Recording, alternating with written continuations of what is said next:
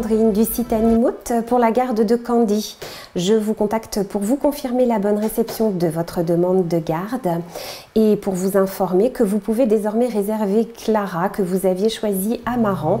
C'est ici, dans un service client d'une start-up, que se décident les vacances de Foudre, un chien de race anglaise à plusieurs centaines de kilomètres. Avec le développement du numérique, ce type de garde est en plein boom et permet de confier ses animaux partout en France.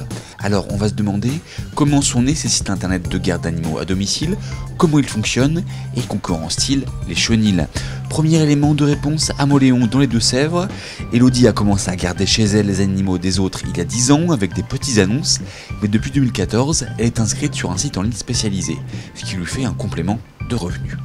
Moi je dirais que c'est quand même une, ça aide pour les fins de mois parce que c'est pas des gros revenus. Hein. pas, on n'a pas un grand salaire non plus, euh, mais ça aide pour les fins de mois ou pour mettre un peu d'argent de côté ou pour se faire plaisir.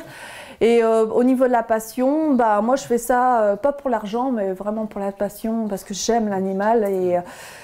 Enfin voilà, même si on me le faisait gratuitement, je le ferais, avec plaisir.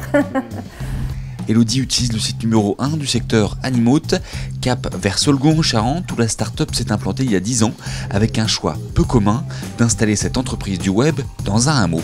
Euh, quand, on s'est installé finalement dans le digital, euh, tout se faisant euh, via Internet, quel que soit l'endroit où l'équipe dirigeante ou le service client se trouve, finalement, pour le client, c'est transparent. Donc, euh, euh, je dirais que d'un point de vue euh, site internet et suivi clientèle, c'était assez similaire de s'installer à la campagne ou de s'installer en ville. Donc, il y a eu un choix vraiment extrêmement personnel quand on a quitté Paris de se dire, eh bien, on va aller à la campagne. et la campagne, c'est la campagne. Donc, du coup, on a vraiment décidé de, de s'installer en campagne. Animote est devenu leader du secteur et est aujourd'hui rentable avec 10 employés en CDI, dont 4 dédiés uniquement à la relation client. Et preuve que le site est utilisé pour les vacances, l'entreprise réalise presque 60% de son chiffre d'affaires en juillet et août. Alors que la majorité des startups choisissent de s'installer dans les métropoles, au sein des incubateurs, s'installer à la campagne en 2009 est un choix pas toujours simple à assumer, même aujourd'hui, pour ne pas freiner la croissance de l'entreprise euh, Au début, on était, euh, on était avec une connexion en 512, euh, donc les vieilles connexions. donc, et aujourd'hui, au mieux, on est sur du 10 mégas. Donc c'est déjà pas si mal, mais c'est au mieux. Donc pour une entreprise qui qui demande quand même beaucoup de, de, de choses à Internet, c'est vrai qu'il y a des moments, ça reste insuffisant. Et, euh, et aujourd'hui, on peut pas faire de. Aujourd'hui, par exemple, on, ne peut pas avoir un standard avec de la VoIP. Euh, on est obligé de travailler avec des vieux standards, avec des vieux systèmes, parce que la technologie euh, ne nous permet pas d'aller euh, au-delà actuellement. Euh, et donc, ce qui nous coûte beaucoup d'argent. là où on gagne en loyer, on le repère en communication téléphonique et en abonnement Internet. C'est une question qui se pose presque tous les mois de se dire est-ce qu'on reste au même endroit malgré cet inconvénient ou est-ce que euh, par rapport à nos besoins en technologie, euh, on, change de, locaux? C'est une question qui se pose. Euh, on en discute régulièrement avec, avec les autorités, mais ça reste quelque chose de compliqué. Le fonctionnement du site internet est comme Blablacar ou Airbnb, elle prend une commission sur chaque commande et surtout comme ces startups, elle s'est imposée face à son concurrent en constituant le plus gros réseau, permettant aux clients d'avoir le choix avec 160 000 pet-sitters disponibles. Le site internet revendique une couverture quasi parfaite du pays, de quoi faire concurrence directement au traditionnel chenil.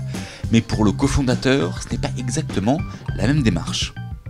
La pension euh, a, cela de sympa que les animaux se retrouvent euh, souvent ensemble, euh, donc ils, ils ont la possibilité de, jouer dans les moments où on le leur permet. L'inconvénient, c'est que euh, les, pensions euh, sont, sont, avec des box, euh, des box, des grilles, et que certains propriétaires n'aiment pas trop, pendant qu'ils sont en vacances, savoir leur animal dans, des box, même si les box sont extrêmement bien aménagées.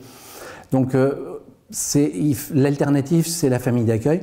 La famille d'accueil, finalement, c'est ce qu'on connaît tous, c'est-à-dire la façon dont on euh, garde nos propres animaux.